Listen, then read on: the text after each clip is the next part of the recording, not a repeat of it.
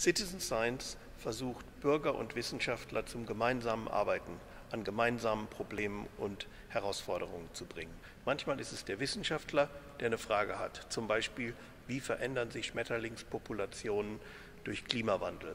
Da braucht man viele Augen, viele Ohren, viele Hände, um daran zu arbeiten. Dafür können Wissenschaftler äh, mit Bürgern zusammenarbeiten. Dann gibt es aber auch Möglichkeiten, wo der Bürger Interessen hat und sagt, könnt ihr als Wissenschaftler uns helfen. Und dieses Zusammenspiel zwischen Bürger und Wissenschaftler, das muss gefördert werden, das muss in einer Wissenschaftsgesellschaft im Vordergrund stehen. Was bedeutet es für Wissenschaftler mit Bürgern zusammenzuarbeiten? Meistens bedeutet es unheimlich viel Anregung, unheimlich viel Spaß, neue Erkenntnisse, neue Netzwerke und ganz viel zusammen machen. Für die Bürger bedeutet es ganz viel zusammen machen, ganz viel Spaß, etwas lernen, sich selber weiterzubilden, aber eben halt auch sich selbst bewusst zu werden, dass Wissenschaft nicht etwas ist für Männer in weißen Kitteln, sondern dass wir alle daran teilhaben können. Ich glaube, dass wir als Menschen alle als Wissenschaftler geboren sind. Wir sind neugierig, wir beobachten, wir sind interessiert. Das sind Grundvoraussetzungen, um Wissenschaftler zu sein. Und deswegen glaube ich, dass alle Bürger bei Wissenschaft mitmachen können.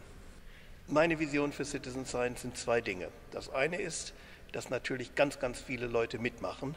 Das andere ist aber auch, dass die Universitäten, die Wissenschaftseinrichtungen begreifen, welches Potenzial für sie in Bürgerwissenschaften herrscht und dass jede Wissenschaftsorganisation, jede Universität in zehn Jahren einen Citizen Science Beauftragten, eine Citizen Science Beauftragte hat, die mit Bürgern gemeinsam forschen.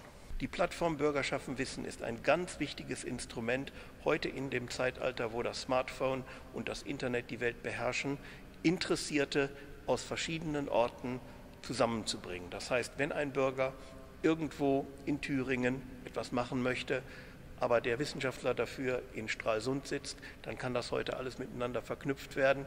Genauso kann der Wissenschaftler, der in Frankfurt arbeitet, sich mit den Bürgern aus Eichstätt verbünden, um was zusammenzumachen. Dafür eine Plattform zu schaffen, um diese Verbindungen herzustellen, von gemeinsamen Interessen, sich gemeinsam Problemen und Herausforderungen zu stellen, das ist eine ganz tolle Sache.